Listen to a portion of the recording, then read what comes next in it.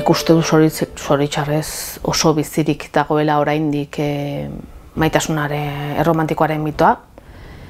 Sortu ba, erromantizismoan sortu zen, sortu zen garaian, ba, zuen alako, bueno, izan zezaken askapen puntu bat, garai hartan jende askotzen zelako izarmen ekonomiko utxengatik. Orduan, erromantizismoaren garaian, papatean maitasunak izatea indarra, e, bueno, pertsonen arteko harremanak kudeatzeko eta bar, bazuen askatzaietik.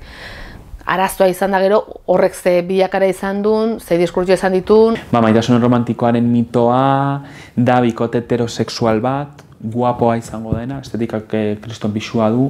Neskaitik irateken ematen zaiona, die barbik, hor, barbi diela rubiak ez dakitze, dena polit-politiek zu bera jazten duzu bere kenakin, bere zakitze, bere txekin, bere printzesakin. E, ikusten dien gauzeko idi, guain pixkoat hasi aldatzen ikikien itzela Disney printzesa guztik zien denak ez dakitze baino antigoak eta matxistagoa guain pixkoat aldatzen hasi die, marrazki bizidunek baino dena izan beharrok ez dola perfekta ezkondu zara zure printzipe urdinekin eta gero realitaten dena ez da hola. Bueno, sistema patriarkalak ezartzen duen mitoetako bat ere bada maitasun erromantikoa erromantikoarena, e, gure harremanez, afektibo eta sexualetan eragin e, zuzena, zuzena dakana, eta, bueno, sinistarazten diguna da, ba, e, bueno, ba, nire kasuan adibidez, ez, ba, gizonekin, ez, e, harremanak izango diala, ba, ba, zoragarriak hori hasteko eta behin, ez daudela, ez, e, harremanetan ez dagola apenas e, gatazkarik. Ez zintzala pozik bizi bakarrik, beti mutil bat beharra dozola pozik bizitzeko. Eta bakarrik zeatik ez zintza pozik bizi, igual persona bat obeki bizi da bakarrik, mutil batekin baino.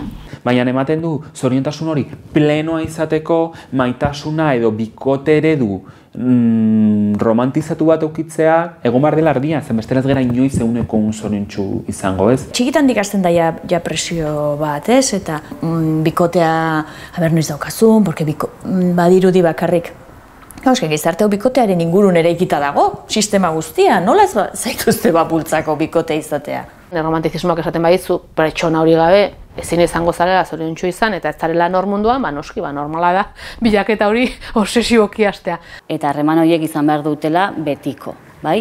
E, betiko, elkar maitatuko legeala, beti berdin, beti pasio e, berdinarekin, eta horrexegatik ba, izango ditugula semea lauak, eta asko maiteko ditugula, eta gure e, bueno, nola baita emakume bezala, ez, e, ba, guztize osatzeko edo emakume oso izateko, bai ba, izango degula gure gizona, bai dela gure bizitza guztian zehar, gure exito handiena, gure arrakasta handienetakoa e, izango da, eta seme alabak ez izango da, ba, gure arrakastaren e, ikur, ikur nagusia. Naranjardiarena edo hori guai bai ari aldatzen pixkat, baina nik uste jagazek ulertzen dutelako zerbait como e, aurreko generazioko orterada bat, ez? Baina pixkat ikuspegi hortatik, eh? Modu, moda kontuagatik. Eta igual e, betirakotasun hori baiari daldatzen, ez? Betirako den hori, baina egiten dugun eraiketa gazte guztiek, igual pare batek ez, baina beraien e, es, bizitza espeitatiba dira bikote seme alabak etxe batean monogamoa, bai, bai, horrek berdin. Bai, bai.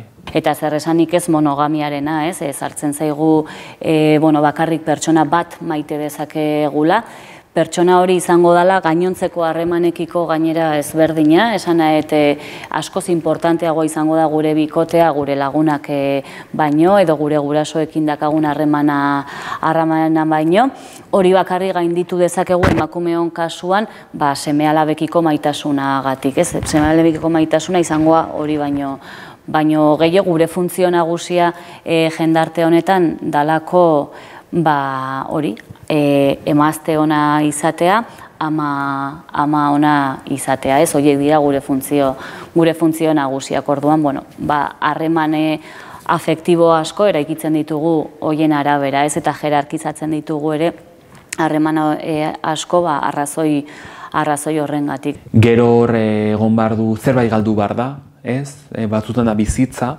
beste batzutan da familia, beste batzutan da ikasketak atzean utzi, e, ez, beti dago, ez zerbait galdu behar da, ez, zerbait jarri behar da jokoan, edo maitasuna horren denez importantea, ematen du ez duela inporta beste gauza batzuk, ez, importatu diren beste gauza batzuk e, desagertzea edo atzean ustea, ez, maitasunak denarekin alduenako, ez. Idealizazioan oinarritutako e, maitasun bat, e, beti ere kotasunean oinarrituriko maitasun bat, e, tragedia kutsu bat ere izan dezakena, ez? E, bueno, maitasuna ere ulertzen dena batzutan asko sufritzen baduzu, asko maitatzen duzu, eta e, beste ez badago zerbait falta zaizu zuri, ez? Iaia mutilaziotik ere baduen e, irakurketa bat. Da sufrimendua, ulertzea sufritu egin martela, maitasun romantikoa da naturalizatzea harreman toksiko batzuk, naturalizatzea zeloak, naturalizatzea posesioa, ez? naturalizatzea e, bai, jarrena matxista batzuk. Okerrena da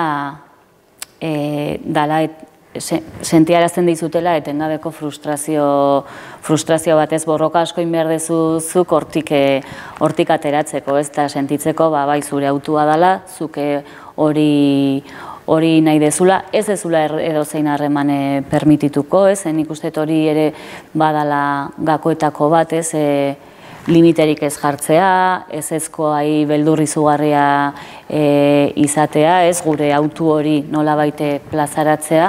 Daukezu adin bat, eta esate dizu, eta, ze, bikotea noiz, bikotea noiz, bikotea ez du. Ah, noiz, ezkondu noiz, ezkondu noiz. Eta aurra noiz, aurra noiz, eta bigarna noiz, ez? Beti da,